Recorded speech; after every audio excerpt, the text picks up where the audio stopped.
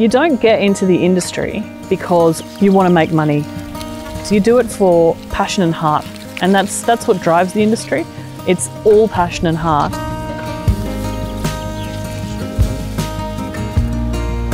Way before Howard Park, we had we were here all the time. Summers, they'd drag me out of bed and I'd have to go and work in a cellar door against my will and I'm sure I gave the worst possible customer service at the time.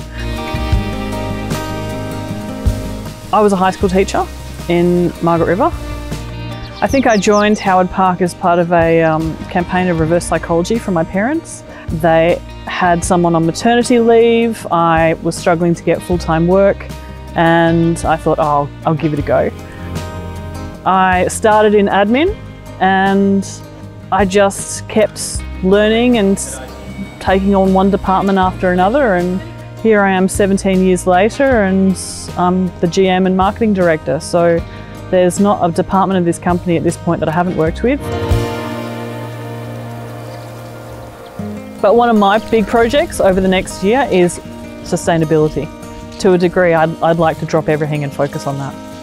As a family business, we are custodians of this land.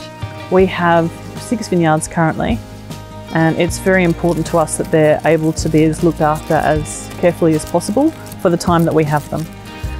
Beyond that, it's just the duty of all of us.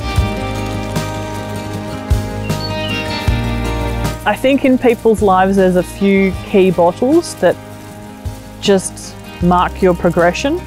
It's like taking the pill in Alice in Wonderland. Your whole scope opens up and you see things very differently and you're like, okay, so the fact that someone has created that and that there's all these people out there in this world creating these bottles of just that can take you to a different world, I find that fascinating. I want to have a business where people want to turn up each day and that they, they have the freedom to be able to create and grow something of their own and then beyond the people part of it, which is hugely important to me, there's the absolute joy and pride of being able to hold something that you've all worked together to create and then share it with other people.